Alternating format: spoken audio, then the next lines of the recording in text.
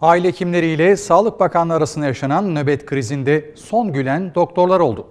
Danıştay aile hekimlerine nöbet tutturulmasını mevzuata aykırı bularak nöbeti kaldırdı.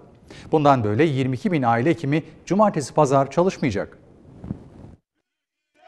Sevdamız, ekmek için kavgamız. Eylem yaptılar, iş bıraktılar, sonunda istediklerini aldılar.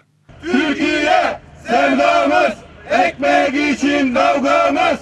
Aile hekimleriyle Sağlık Bakanlığı arasında yaşanan soğuk savaşı doktorlar kazandı.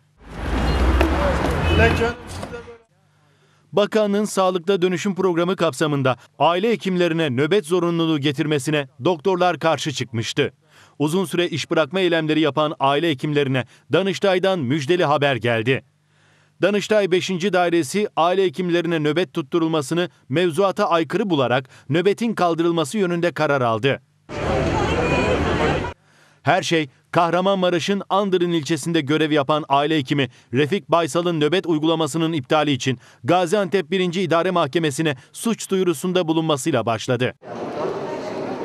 Açılan davada Gaziantep 1. İdare Mahkemesi kamu yararı olduğu gerekçesiyle nöbetin tutulmasına karar verdi. Bunun üzerine dava temiz için Danıştay'a gönderildi. Danıştay 5. Dairesi'nde görüşülen temyiz duruşmasında mahkeme heyeti aile hekimlerinin adli tabiplik görevlerinde bulundurulmasını ve nöbet tutturulmasını mevzuata aykırı buldu. Yok Mustafa teşekkür ederim. Danıştay'ın kararı tüm aile hekimlerinde sevinçle karşılandı. Zira alınan karar emsal teşkil edeceğinden ülkemizdeki 22 bin aile hekiminin tamamını kapsayacak. Kararla birlikte aile hekimleri bundan böyle cumartesi pazar çalışmayacak.